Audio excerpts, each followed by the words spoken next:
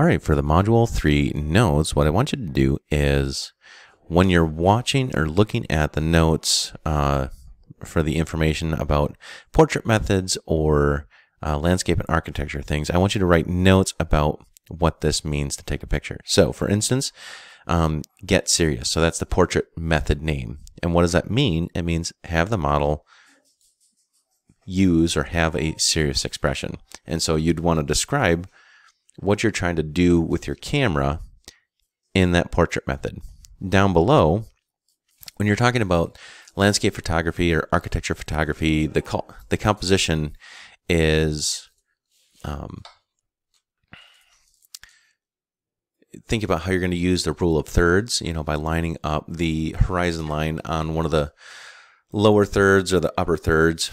Um, elements to consider. These are all from the um, the notes and uh, for landscape and architecture photography. So foreground interest, you know, having something in the foreground, um, leading lines. This is pretty common to have in landscape photography. So like being on a path or, you know, standing over a river and that river kind of converges and that becomes leading lines or how to use the rule of thirds for this.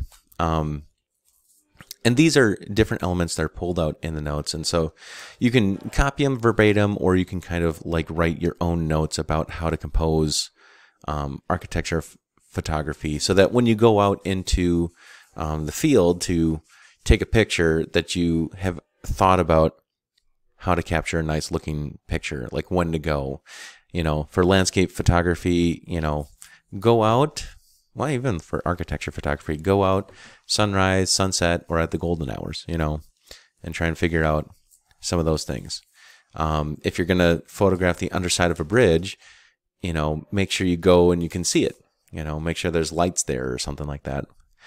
Hopefully, this helps and clears up um, how to fill out this Module 3 notes document.